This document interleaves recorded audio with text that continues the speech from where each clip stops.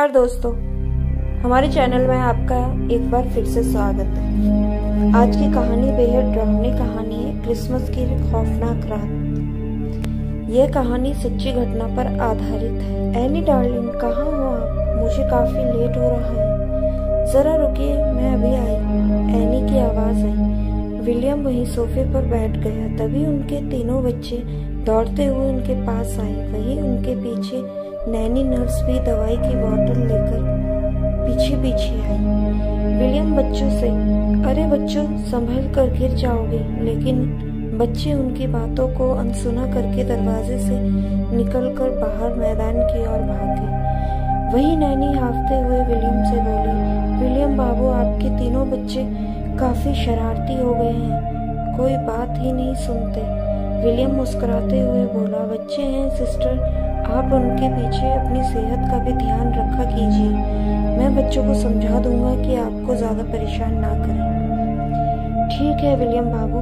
नैनी ये बोलकर बच्चों के पीछे चली गई। तभी एनी, टिफन और विलियम का बैग लेकर नीचे आई। सॉरी सॉरी, विलियम, ये लीजिए आपका सामान। विलियम बैग को कंधे में रखकर बाय बोलकर जाने लगा। तभी उसकी नज़र एनी के उदास चेहरे पर पड़ी। वह उसके पास जाकर बोला, क्या हुआ मेरी जान? ऐसे उदास क्यों हो? सब ठीक तो है ना? एनी विलियम के सीने से लगते हुए बोली, आप आज कहीं मत जाओ। मुझे बहुत अजीब लग रहा है। कल चले जाना। विलियम हँसते हुए बोलता है दब पगली, इतने सी बात के लिए इतने सुंदर चेहरे को उदास किए बैठी हो? चिंता मत करो, मैं जल्दी ही आ जाऊँगा। आज तो क्रिसमस का दिन है, त्योहार के दिन घर से बाहर जाना अपशगुन माना जाता है। एनी कैसे भी करके विलियम को रोकना चाहती थी। विलियम मुस्कुराते हुए बोला, जान, ये बातें उनके लिए होती है, जिनके पास करने के लिए कुछ काम नहीं होता। आप चिंता मत करो, मैं शाम होने से पहले ही घर आ जाऊँगा। यह बोलकर विलियम तेज़ी से घर से बाहर निकल गया। वही एनी विलियम के लिए काफ़ी चिंतित थी। विलियम बॉल उनके परिवार में थे जिनकी देखभाल करने के लिए एक वृद्ध नर्स नैनी थी। वे दक्षिण इंग्लैंड में बसे ब्रिस्टल गाँव के आकेवले हॉल में रहते थे, जो ऊँचे ऊँचे पहाड़ों तथा घने जंगलों में घिरा हुआ था। क्रिसमस का दिन था। विलियम को आज बहुत ज़रूरी मीटिंग के चलते लंदन जाना था। कड़ाके की ठंड पड़ रही थी, लेकिन वहाँ के निवासी अपने प्रिय त्योहार की तैयारियों में व्यस्त थे। बच्चे बेहद खुश थे। एनी सारी तैयारियाँ कर रही थी। उनकी मदद नैनी कर रही थी। तैयारियाँ करते करते शाम हो आई, जिसके बाद नैनी भी जल्दी छुट्टी मांगकर अपने घर चली गई। पर एनी पूरे दिन काफ़ी दुखी थी। विलियम का इस पवित्र दिन भी घर में न होना एनी को अखड़ने लगा था। एनी विलियम के ख्यालों में खोई हुई थी कि अचानक उसने विलियम को सीढ़ियों से ऊपर चढ़ते देखा। लेकिन विलियम तो उस समय लंदन में थी। इसीलिए एनी को बहुत आश्चर्य हुआ। बच्चे भी वही खेल रहे थे, उसे देखकर वे तीनों पापा पापा चिल्लाने लगे, लेकिन वह तेज़ी से ऊपर वाले हॉल में घुस गया। उसका पीछा करते हुए जब एनी तथा बच्चे हॉल में गए तो वहाँ कोई भी नहीं था। एनी और बच्चे हैरान थे।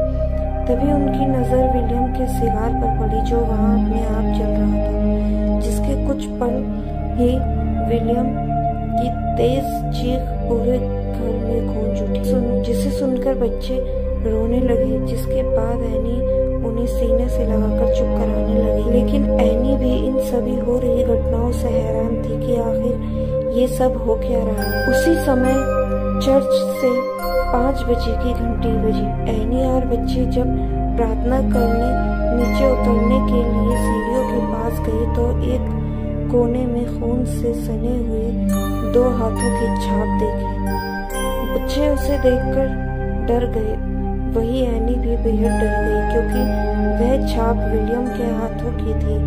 और ताजे खून से बनी हुई थी। उसे देखकर एनी और बच्चे घबरा कर वापस हॉल के अंदर आ जाते हैं और डर के मारे वहीं बैठे रहते हैं, जिसके थोड़ी देर बाद उनकी नींद वहीं पड़ जाती है। काली अमावस की रात अपनी चरम पर आ चुकी थी कि तभी रात के दो बजे एक साया तेज़ी से दौड़ता हुआ एनी के घर के दरवाजे के सामने जा खड़ा हुआ और दरवाज़ा खटखटाने लगा, जिसकी आवाज़ सुनकर एनी हड़बड़ा कर उठ बैठी और डरते डरते दरवाजे के पास पहुँची। वह बोलना चाहती थी, लेकिन उसके मुँह से आवाज़ ही नहीं निकल रही थी, जिसकी आवाज़ सुनकर एनी हड़बड़ा कर उठ बैठी और डरते डरते दरवाजे के पास पहुँची।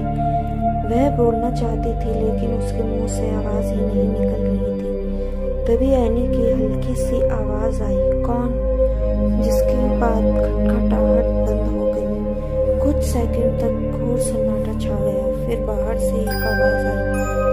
मैडम, दरवाज़ा खोलिए, मैं हूँ हैम। हैम विलियम के कार्यालय का कर्मचारी था। एनी, उन्हें जानती थी। उसने दरवाज़ा खोला तो देखा हैम काफ़ी हाफ़ रहा था, जिसके बाद वह गहरी सांस लेकर छोड़ दिया और बोला एक बहुत दुख समाचार है। सर विलियम अब हमारे साथ नहीं है। उनके करीब शाम पाँच बजे किसी ने हत्या कर दी।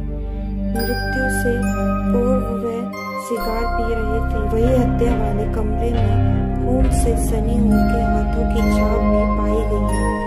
हैरानी की बात यह है कि वह उस कमरे में बिल्कुल अकेले थे। एनी यह सुनकर मूर्ति की तरह वही जम गई। उसका दिमाग शून्य की ओर जा रहा, याद आ रहा था तो बस सीढ़ियों से चढ़ता हुआ विलियम हॉल में जल रहा सिगार और सीढ़ियों के पास खून से बना दोनों हाथों की छाप, जो धीरे धीरे और गहरा जा इंग्लैंड में आज भी विलियम